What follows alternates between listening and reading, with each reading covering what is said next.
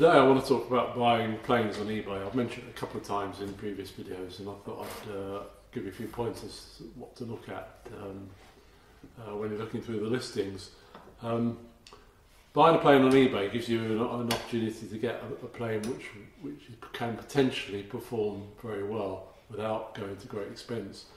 I wouldn't I wouldn't uh, recommend that you buy sort of cheap budget planes like the current Irwin record or the Stanley or Anant or Groz or Faithfull or anything like that uh, because they really aren't, aren't worth buying really. They're very difficult to get to perform terribly well. Um, I can remember a couple of years ago I was teaching a couple of weeks in, in, in Malawi and I couldn't take the tools out with me so I thought oh I'll, I'll buy uh, a tool, some tools in the local township when I'm out there and uh, the only tools that were available were Anant uh, the chisels were pretty rubbish, and the plane was absolutely dire.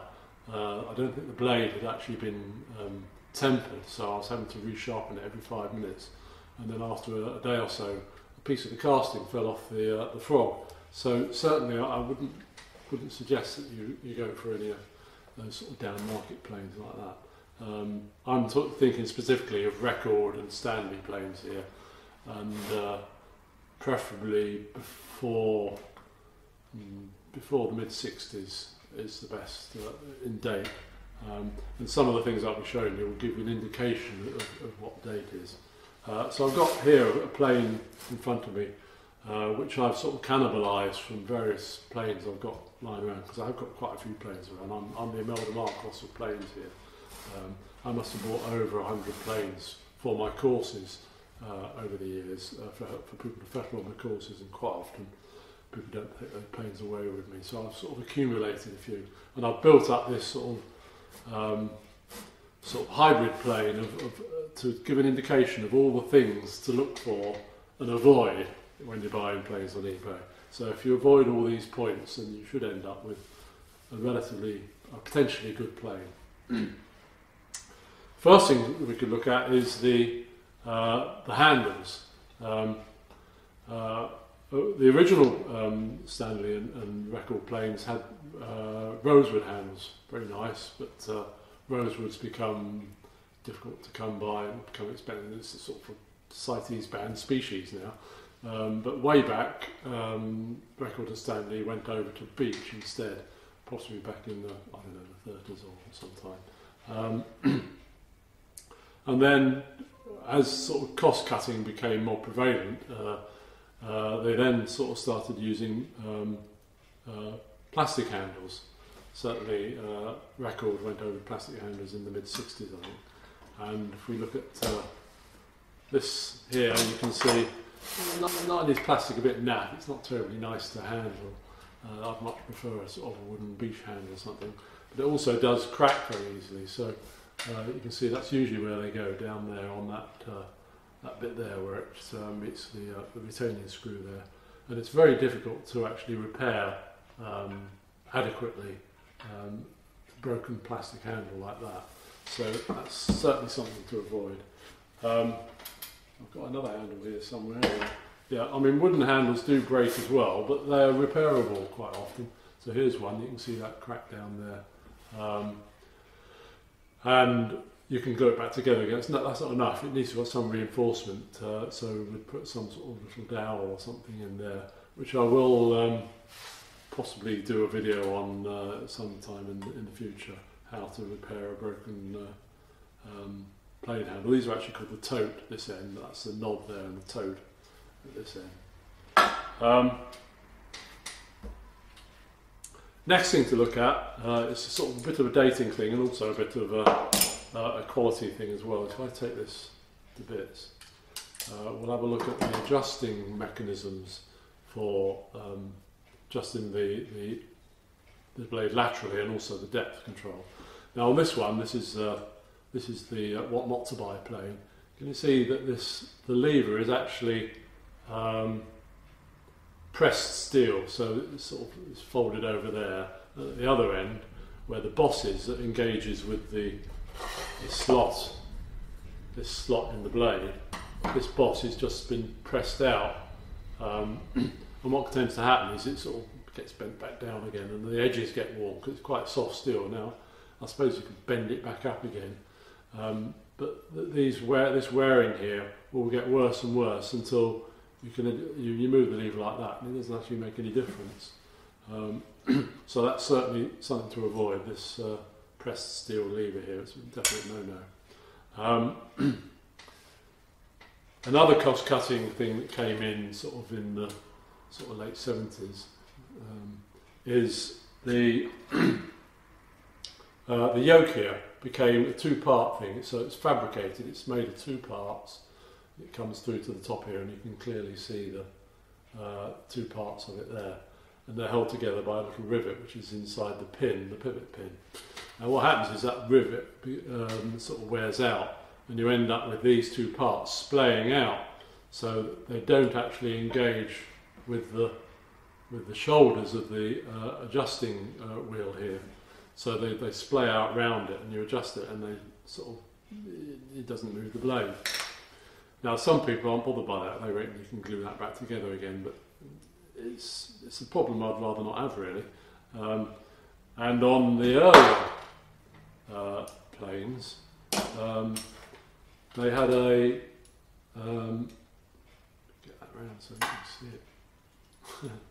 um, they had a, a, a, cast yoke, so that is cast steel there. It comes up and it's single piece there. Um, so there's not much chance of that um, uh, splaying out and, and deforming. Um, so if you can see it in the, in the pictures on the, on the eBay listing, uh, if you've got a choice between one with a split yoke and one with a cast yoke, I'd suggest you go for the, uh, the cast yoke one it's not a breaker, but um, it's sort of if you've got two planes and you're choosing between the two, it's, it's, it's an issue you could think about. Um, while we've got the, uh, the frogs out like this, another thing you can consider if, if the if there is a picture of this this area is um, on the later um, planes, the casting was recessed out like this. So you can see how there's these lower areas here, the blue bits. Um, and that meant that you only the machining only had to be on those sort of raised surfaces. You didn't have to machine the whole surface. And on the earlier planes, before about 1960 or so, they had a bigger area to machine, which meant the production costs were higher. Now again, that's not a not a, not a deal breaker really. Uh, you know, um, you could probably get a, a good good um, you know good performance out of a plane with that sort of pattern. But just somehow I feel feel happier to have a, a plane where the blade is sitting on a on a big flat surface like that rather than that recessed out surface. and one other thing about the frog we could have a quick look at uh, while we're here is uh, if we turn the frogs over, you can see that there's a slight difference in the, the way they get them in the right place. Uh, a slight difference in the, in the um, adjustment mechanism for the sort of position, whoops, the front to back position of the frog. Uh, if you look on this one, this is the, uh, the later one, the what not to buy plane. Um, there's just a, a uh, slot been, there you go, there's a slot been milled out of the, uh, the, the, casing there, whereas on this one it's a, a U-shaped plate that's screwed on like that. And what I find is that the, uh, and also the slot engages with a, a flange on the uh, adjustment screw there. Get it in the right place. Where is it? Here we go. So there's a little flange on that adjustment screw, and when you when you put the two together, uh, there's a lot of play there it's not terribly satisfactory. Whereas on um, on this one, when you put the frog in, there's quite a positive. There's no movement there. It's quite a positive seating there. Having looked at the um, the frog and the yoke things, let's now have a little look at um, the blade. Um, so this is the blade out of the, uh, the plane. We take the cap iron off.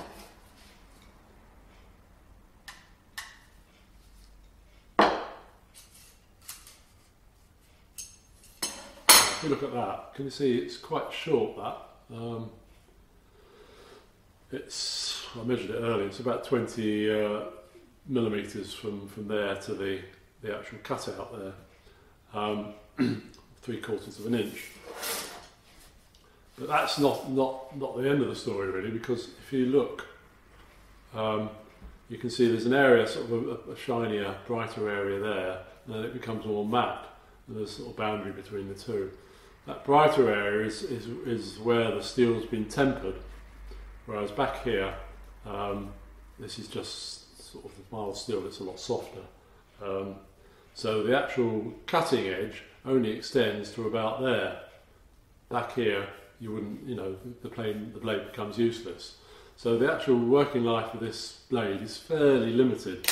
So if you can see the, um, the blade in the, in, the, in, in the listing pictures, then if you've got a very short blade like that, it's probably getting towards the end of its life. It's not the end of the world. You can buy a new blade from uh, a new Stanley blade, which would fit any a record or a Stanley plane. Uh, it's only about ten pounds, um, but um, it's worth considering it when you're looking at the listings. The other thing you can you can look at, which I'm not sure whether it would be terribly clear. Actually, let's, have a look at that. Can you can see you can see how the difference. I mean, this has probably been sharpened a few times as well, but you can see the difference in length between the blades. I've also got a new one out, so you can see how how much longer the new ones are. Um, but uh, the other thing you can consider, if you can see any any uh, printing on the on the blade when you see the photographs on the listing, um, let's get this one out as well. Um, it can give you an indication of what the steel is that the uh, blade's made of. Um, on Stanley blades, it's uh, fairly simple. It just says Stanley, made in England. And perhaps Stanley thought that made in England was good enough recommendation. On record planes, um, they're a bit more specific. So on this one, it's saying genuine record, tungsten vanadium steel. And that tells me that it's a slightly later um, uh, blade than this one, which is, says uh, record made in England, best crucible cast tungsten steel. So that's a slightly earlier blade than this one both pretty good. But um, one thing about these um, cruci best crucible ones is, I'm probably not going to be able to see this, but I'm, you're just going to take my word for it. But um, if we look at the where the uh, bevel's been ground, you can see a slight change in the texture of the grinding um, with the boundary sort of part way down. That's indicating this is a laminated blade. Um, so underneath we've got the hard um, tungsten steel, and then above we've got milder steel, um, which is softer, so it's easier to grind and sharpen. Um, so we've got the best of both worlds. We've got the nice hard steel underneath, and then the softer steel above, so that we, it, take, doesn't take so long to, to, to grind the grind the edge as if we had if we had hard steel, tungsten steel all the way through. These, uh, um, the tungsten vanadium aren't laminated, um, so they're sort of, um, they take a bit longer to, to grind. Um, while I've while I've got this blade out, I just wanted to show you um, uh, this, this, little extra thing. Sometimes you get uh, stay set planes come up on eBay. So this is stay set. It's the, the, the um, cap irons in two parts. So you've got that bit and you've got this little bit that uh, comes away. And the idea is it's called a stay set, is that you should be able to sharpen the blade without having to take the cap iron off. Um, the other advantage of it is it's very chunky piece of uh, piece of metal, this stay set cap iron.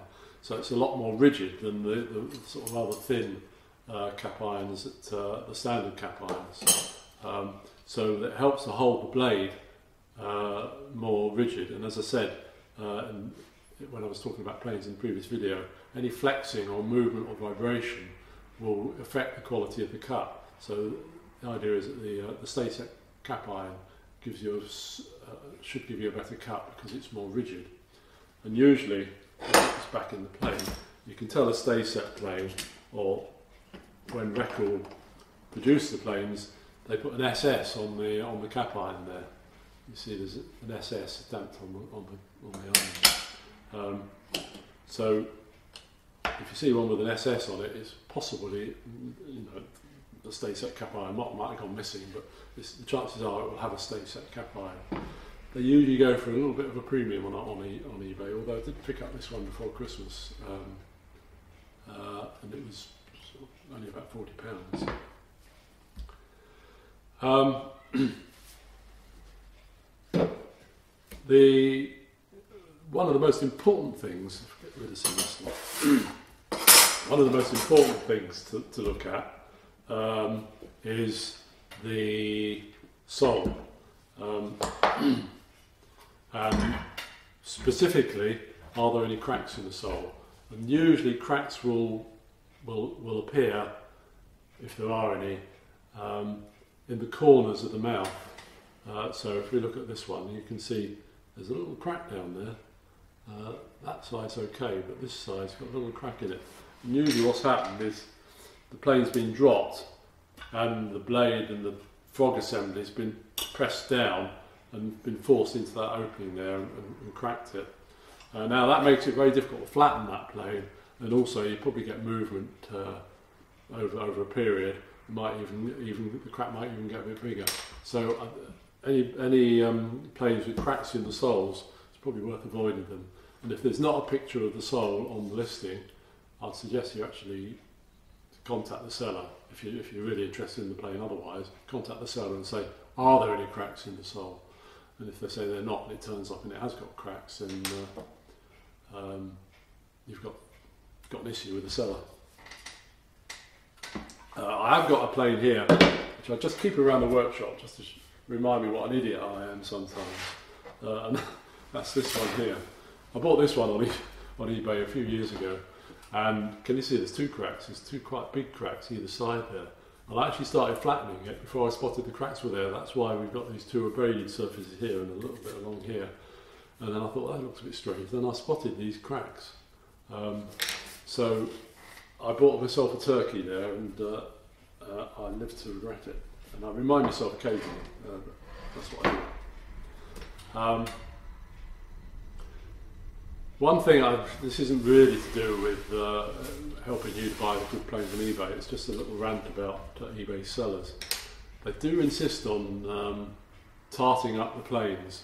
One of the things I like about using an old plane is, is to feel that I'm actually using a plane that many craftsmen have used before me, and I'm sort of in a, a line of craftsmen. Um, what eBay sellers tend to do, or quite often they'll do, is strip the plane down, and refinish the, the, the sole, you know, repaint it and everything, and, and strip all the finish and the, uh, knock off the handles and things, and, and re-oil them, and just completely take the character away from the, the plane, you know, strip off the patina of the craftsman that came before. And I really can't actually understand what's what's in it for them really, because you're only going to get about 35 quid for the plane. And it's going to take, take you a bit to sort of strip it all down and, and uh, and get the old paint off and repaint it and re-oil it and everything. So my advice is don't bother. Let the person who buys it do with it as they want rather than uh, um, tarting it up for sale. Um, rant over. Uh, one last thing, there's a little eccentricity which I bought um, uh, a few, a few, well, quite a while ago now actually uh, which is this. Um, organised. Um, I bought this as a, a, number five, five and a half plane, this one here. I bought this as a five and a half plane, and um, it's, it's okay. It's you know needs, needs a bit of tarting up, so it didn't get tarted up by the seller. Um, so five and a half, put this one next to it, and it's a perfect match. But then I started looking at it, uh, I notice it says number seven there, and there's just the vestiges of the word record there. And so I got my number seven out and put it next to it. And I realised what they've done is someone has cut off the, the, the two ends of the plane to make a number five and a half out of the number seven. Um, so it's had quite an checkered history. This this plane. It's, it's been done really well. You know, it's it's beautifully um, finished off on the cuts. You know, the actual curves of the of the ends, a, a perfect match. Um, so it's had a bit of a checkered history actually, because although it's a record plane, it, actually, it has actually got a, a Stanley lever iron on it, and also a Stanley blade. Um, but we're probably going to be fettling this up on my next um, beginners or, or plane um, tool sharpening course. Uh, and we'll see what it turns out like. There's, there's a bit of rust on the underneath, but I'm not too concerned about that. Anyway, that's about it. I hope that's helped you with your uh, eBaying activities. Um, if you can be bothered, it would be great if you could uh, subscribe to the channel. But otherwise, if you have been, thanks for watching.